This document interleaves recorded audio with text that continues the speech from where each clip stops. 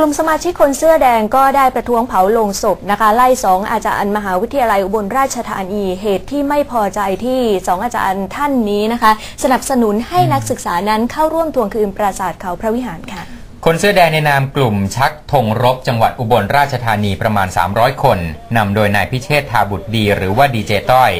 นำสมาชิกมารวมตัวที่หน้าทางเข้ามหาวิทยาลัยอุบลราชธานี เผาโลงศพจำลองประท้วงศาสตราจารย์ ดร ประกอบ วิโรจนกูลอธิการบดีมหาวิทยาลัย และผู้ช่วยศาสตราจารย์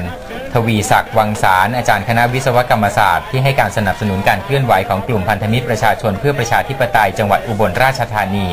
กรณีการทวงคืนพื้นที่รอบปราสาทเขาพระวิหารนั่นเองครับค่ะนอกจากนั้นกลุ่มคนเสื้อแดงก็ยังเรียกร้องให้สภามหาวิทยาลัยอุบลราชธานี ตั้งคณะกรรมการสอบกรณีดังกล่าวแล้ว หากว่าไม่ได้รับคำตอบ กลุ่มคนเสื้อแดงก็จะมาทำการเคลื่อนไหวอีกครั้ง